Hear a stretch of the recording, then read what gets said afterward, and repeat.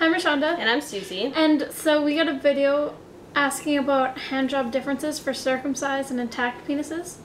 Okay, so um, he just said, can you explain the difference between giving a hand job and circum- to a circumcised and intact penis? Okay, so kind of the difference is if you're circumcised, a lot of guys actually have to use lube. Because it's cut so tight, like the skin's so tight around it after being cut. Yeah. So So, but when you're intact, then there's like there's lots of skin there, so it's um. so you don't need lube? yeah, so it is easier, I guess, and it's um. Cheaper? well, yeah, that too, but um. So it's easier for like the girl. If the girl's giving a hand job to a guy who's circumcised, then you know it just it would maybe not be as good because you might have to use lube or whatever. But if they're intact, then it would just be a lot easier for the girl, and you know, and it would feel better. I'm sure. yeah, and So, it's just different because one has like it's not as tight, so it just makes a huge difference Yeah, when you it's are just it's giving just a it's hand just job. way like easier. But um,